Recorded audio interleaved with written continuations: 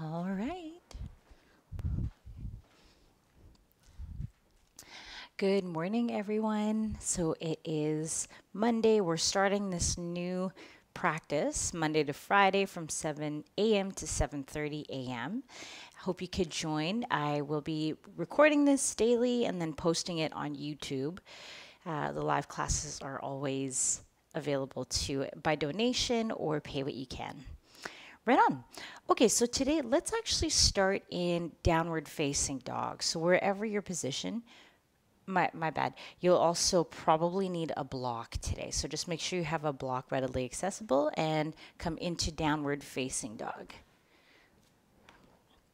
Best way to measure out your down dog is to come into tabletop first. See where your hands and knees fall. Curl your toes under and then lift your hips.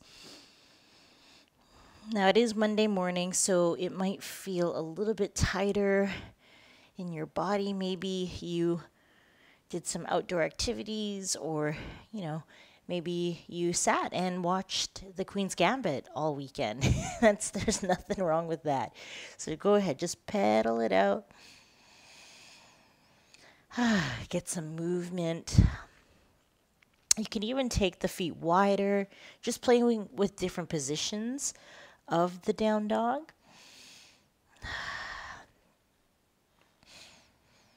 All right. Now slow your movements down. You'll start to feel how the hands are engaging, the chest is softening towards the feet. Take a deep breath in through your nose and exhale out your mouth. Let it go. Take a breath in, come up onto your toes and exhale to let it go. Good. Now bring your knees to the mat. So what we've done is we've just come into this little semi-inversion, get the blood flow moving a bit, come back into your seated position on the knees, and we'll allow our breath to flow freely into the nose. So equal breathing. Take a normal inhale. Empty completely. Inhale nice and slow for a count of four, three, two, one. Exhale four, three, two, one.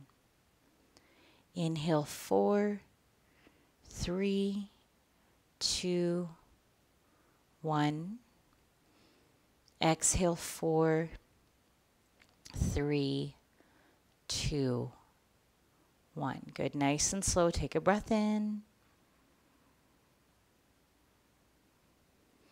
And a breath out. Allow yourself to breathe in a way that you're welcoming fullness into your body. And the process of change is inevitable and we will always be met with some sort of discomfort or resistance along the way. Now, instead of acting on what could potentially be negative, I'd like you to just retrain your thoughts, at least for this next 30 minutes, to choosing the direction that leads you in a positive way. So you can easily change your thought by acknowledging and seeing when a negative thought passes. As we start to move through this vinyasa and this powerful flow, you'll hear this little person on your shoulder talking in your ear. That won't be me, but it's like you, it's your sound, your voice. Pick and choose your thoughts, they're your power.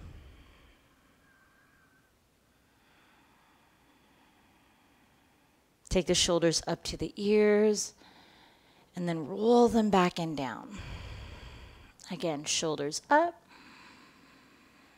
back and down. All right, come back into tabletop again.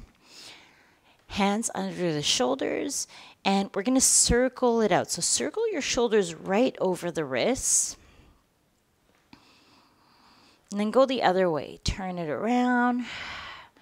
Now, that breath awareness might have felt a little bit different with the downward dog in the start position. Maybe you have more energy. Okay.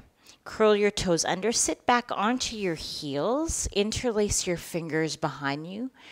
Maybe the right thumb is on top, so just make note, right or left thumb, whatever it is.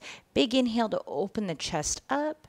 Now exhale, slide your knuckles over towards the right hip. Take a big breath in, sit up tall. And as you exhale, allow your right ear to drop to right shoulder. Feel that stretch into the side of your neck. Maybe you have some tightness from sleeping on your sides. Hmm. Okay, come on over to the other side. Switch your grip, so change it up. Whatever thumb is on top, cross the opposite thumb on top. Take an inhale, sit up. Exhale, slide your knuckles over in the opposite direction. Big breath in. Exhale, drop. Left ear, left shoulder. Breathe. Notice how this feels in your neck. Hmm. All right. So come back into tabletop position. Actually, you know what? Let's just come right into low Lolasana. Bring your hands beside your knees, fingertips pointing towards the front of your space. Uncurl your toes. Take a big breath in. Now, as you exhale, lift your knees off the floor. Feel how the core needs to light up to really get the knees high. So let's stay here. Keep lifting up, rounding the back. Feel a protraction of the shoulder blades around the rib cage. Listen to your breathing. Stay here. Five, four, three, two, one. Set it down. Roll out the shoulders, roll out the wrists. Take a big breath in to interlace the fingers. Exhale, press your palms away from your chest, round the back. Good. All right, now bring your hands back down to the earth. Now, this time we're going to do the same thing we just did, only we're going to lift up one foot at a time. So take a big breath in. Exhale, lift. Lift the knees. Now take your left foot off the floor. Hold here. 10, 9, keep looking. 8, looking forward. 6, 5, 4, 3, 2, one, drop down. Good, roll out your wrists. Right away, come on to the other side. So hands come down. Take a breath in. Exhale, lift the knees. Good, now float right foot. Go for it. 10 seconds. 10, 9, 8, 7, 6, 5, 4, 3, 2, and 1. This time, interlace your fingers, palms face your chest. Take a big breath in. Exhale, press your knuckles away from the body, round the upper back. Shake out your hands. All right. Make your way into downward facing dog. Pedal out the feet. Get long through the sides of your body. Take a full breath and roll your spine forward, high plank. Feel your newfound core strength here. Might feel very different in this plank position. Press through the hands, press through the floor, fire up the glutes, lower the knees, come all the way down to your chest, nice and slow. Inhale, baby cobra, un- unroll the toes. Exhale, lower down. Let's do two more baby cobras like that. Inhale, lengthen forward, lift. Tuck the chin, lengthen the back of your neck. Exhale, back down. Use your hands, pull your chest forward, lift, belly to spine. Exhale, back down. Push back, tabletop, downward dog.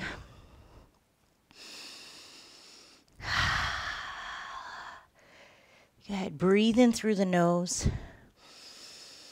Exhale out the mouth. Walk your hands back to your feet. Come to the very back of your space. Feet are about hip width distance apart. You can measure that out, maybe two fist width distance. Bend the knees, sit low into your chair. Reach your arms up. Powerful pose or chair pose. We're going to be here a few times today. So just notice how this feels. Let the blood from the arms move down into the body. Get a little bit lower into your seat. Knit the ribs together. Can you sit deeper into the chair? So just notice here, how does this feel to get deeper, meeting that discomfort or meeting that thought that's coming up in your brain? So, how is this moving mentally as well as physically? And then choose which direction you want to go. Get a little bit lower into your seat, take an inhale. Now exhale, fold forward. Slide your hands underneath your feet. Bring your toes right to the creases of your wrists. Padahastasana. Stretching out the back of the wrists, shoulders lifting away from the ears. But we want to find that happy medium. So if you're kind of like really over activating the back to pull the shoulders up higher, just try to find that happy medium.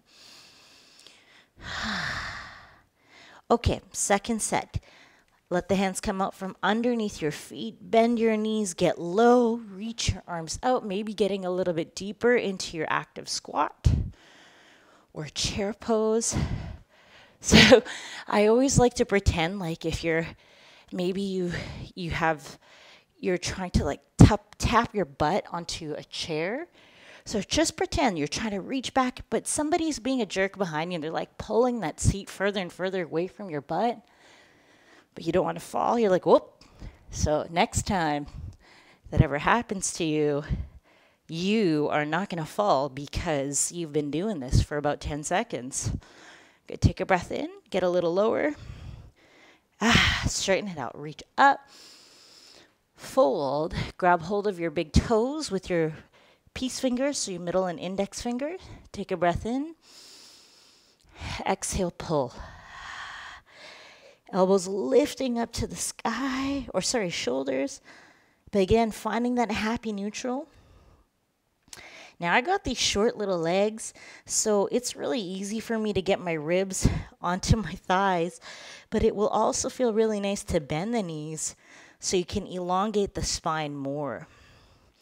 Feel that elongation, and as you bend the knees a little, you can even tilt your pelvis so that the tailbone lifts up higher towards the ceiling.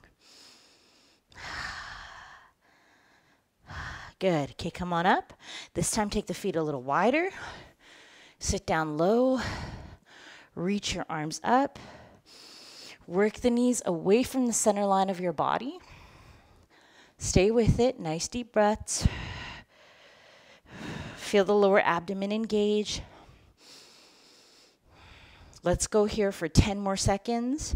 Nine, eight, seven, six, five, four, three, two, one. Hands to the earth, set up for crow. Hook your knees onto the back of your triceps.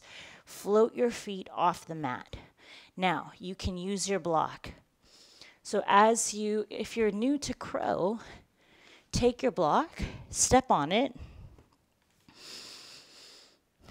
and play with floating one foot off of the yoga mat at a time, or sorry, off the block at a time.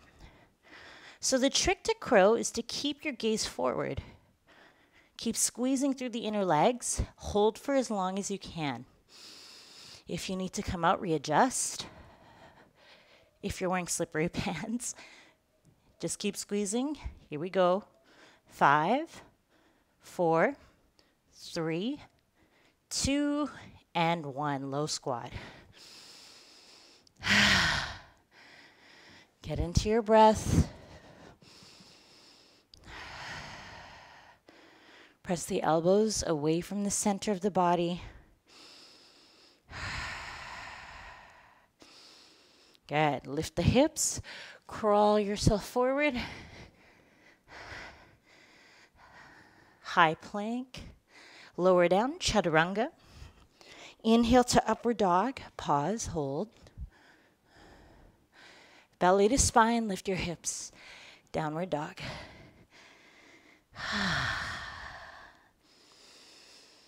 Inhale through the nose. Exhale out your mouth. Good. Inhale, right heel up. Exhale, knee to your right tricep hold. Stay here. Keep pressing the floor away. Good. Now step your foot beside the right thumb.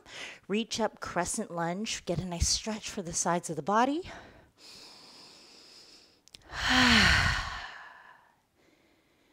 Big inhale as you reach up through the baby fingers. Sink a little bit deeper into your hips without arching your lower back. So if you find that the low belly is spilling forward, try to contain that energy. Bring it in. Think about your body as a container of energy. So we want to keep everything harnessing inward. So we're holding all the energy inside. Take a breath in. Exhale to bring your hands to the mat. Reach back with the right leg. Keep the right leg floating. Lower down, chaturanga. Inhale to up dog. Exhale, lift your hips, downward dog. Good. Inhale, left heel up. Exhale, knee to your left tricep. Hold, pause. Stay here, breathe. Keep pressing the floor away. Good. Inhale back. Exhale, knee to nose. Step forward, come into crescent lunge. Inhale to rise. Come up on the exhale. Sink your hips down. Post down through the center of your left heel. Pull the left hip back, right hip forward, inner right thigh spiraling towards the back of your space. Notice how this feels to have an asymmetric stance. So, we've done a lot of poses today where there's symmetry from side to side. So, just feel that sensation. Keep rotating through the hip. Take an inhale. Exhale, hands to the mat. Float the left leg behind you. Breathe in. Exhale, chaturanga. Inhale, up dog. Both feet on the mat now. Exhale to lift your hips. Down dog. Whew. All right. Bring your elbows to the mat, dolphin pose. Grab for the opposite bicep just to ensure that the, they're a little closer together. Option is also to interlace your fingers. Get, get a little bit closer with your feet. So walk the feet an inch or two towards the elbows. Lift and lengthen through the low back. You could bend your knees too if you need to. Just notice the thoughts that are arising the dialogue you're having with yourself, the only person in the room with you. Breathe.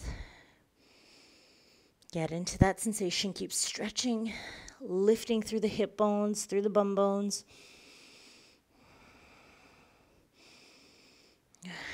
Stay with it now. Take your right leg high, reaching up through the right foot. So we're always fighting the good fight. So we choose the fights that we have and where we can find progress and shift. So we're fighting the good fight. Yeah. Other side. Right foot down, left heel up. Keep lengthening, reaching. Now tap into that opposing force here. Feel the forearms press down and forward. Lift the left leg higher. Breathe deep. All right, let the toes land. Take a moment in child's pose. Knees together this time, hands beside your feet, forehead to the mat. Let your shoulders round over your thighs.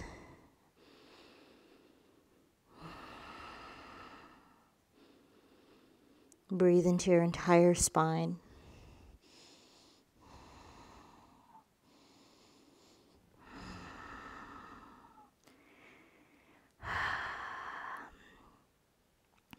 All right, come back into tabletop, downward facing dog.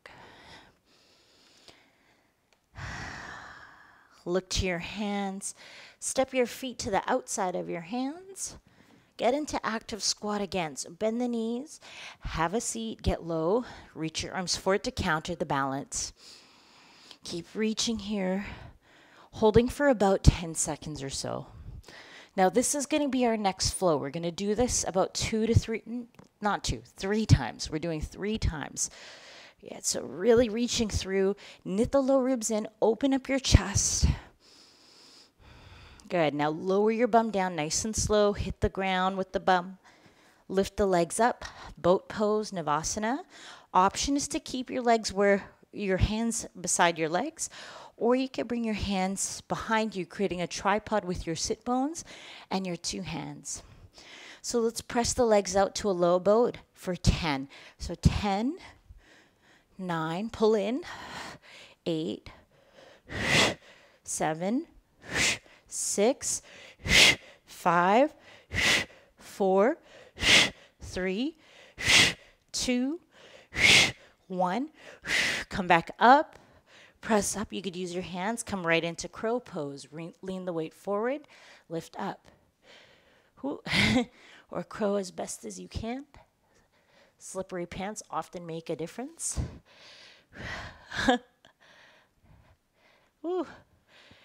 So crow it out here. Good. Take chair pose again, holding, reaching forward, active crow. You can pulse here now. 10, 9, 8, 7, 6, 5, 4, 3, 2, one, slowly lower to your seat, Navasana, boat pose. Reach your arms back or forward, whatever works for you. Contain the belly. Inhale. Exhale, contract in. Inhale, reach. 10, 9, 8, 7, 6, 5, 4, 3, two, one. Rock forward. You could press up with the hands, come into crow, or your version of crow. My pants are very slippery. Ooh. ah, play with lifting one foot off the mat or both feet, maybe. So, again, just working within your range. Good. Last one. Feet come down active squat. Sit down low, reach forward. We'll pulse again. 10, 9, stay low. 8, 7, 6, 5, 4, 3, 2, 1. Boat pose. Come all the way down. You know where we're going. Knees up, shins up. Find length. Offer support. Inhale, go for it. 10, 9, 8, seven, six, five, four, three, two, and one. Woo, press forward. Curl pose. Good. Keep lifting up. Press the feet, hands, and sorry, press the weight into the fingertips. Lift the toes.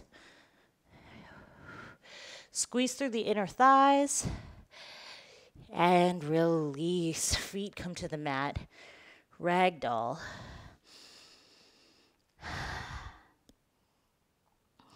Let the weight of your body hang forward. All right.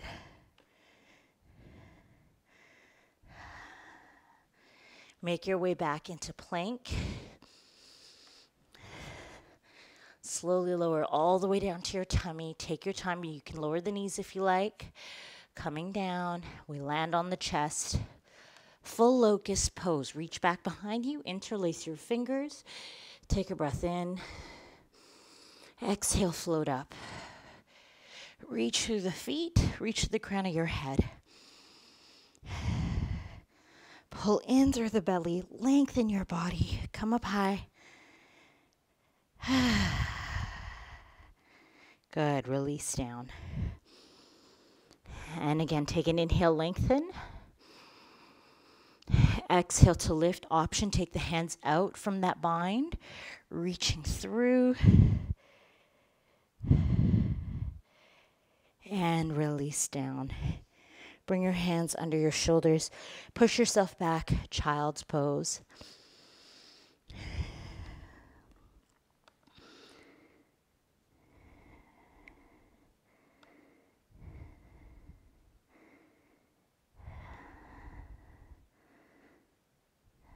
Nice deep breaths into your back. You can roll out your wrists while you're here.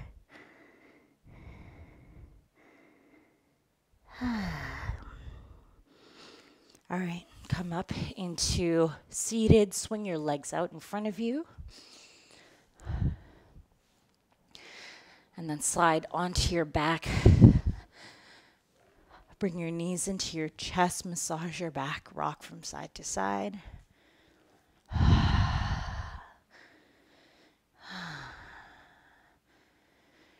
All right, take your right knee to your chest and then give yourself a little squeeze here as you pull the knee down. Massage the belly. Then take your leg up to the ceiling, turn your toes out to the right. Thread the needle, land your right ankle on top of the thigh. Interlace your hands on the back of your leg. Take a breath in, press your tailbone into the mat. Then guide your left knee to left shoulder.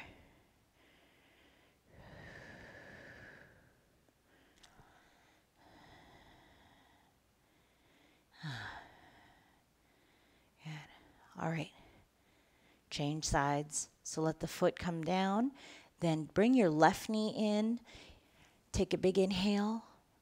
Exhale, squeeze the knee towards your left shoulder. Maybe a few circles.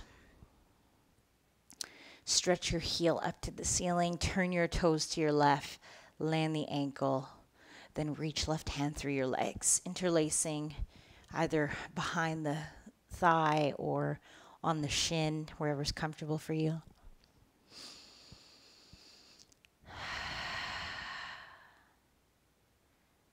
Yeah, nice deep breath. Press your tailbone into the mat.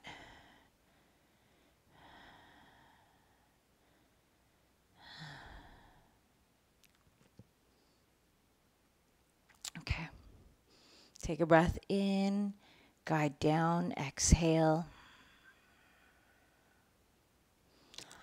Feet come to the earth. Windshield wiper your knees from side to side. And then time to take rest. So if that's Shavasana for you or if it's a seated meditation, you choose how you like to close your practice today.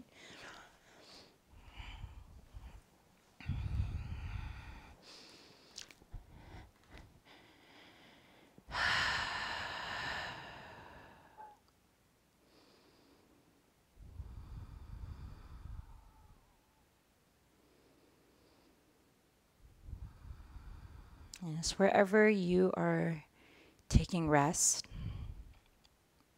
close your eyes.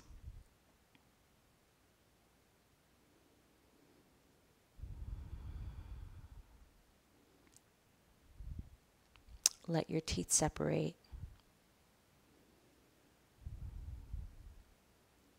The lips can be soft.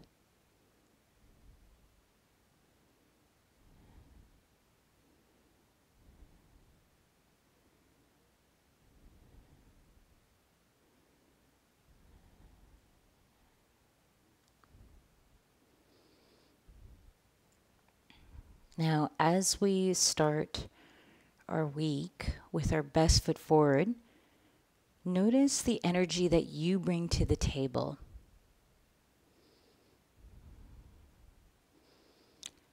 Uh, it's interesting to observe how our thoughts they become the way that we choose to be. So our thoughts can become our state.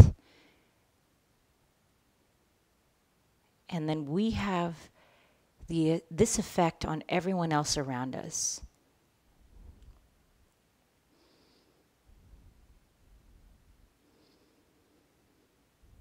Let that be your practice for the rest of your day, maybe your week even.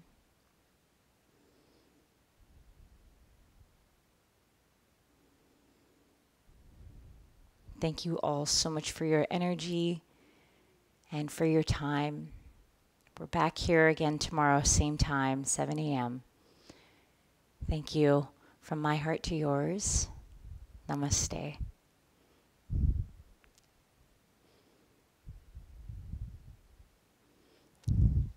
Have a great week, everyone.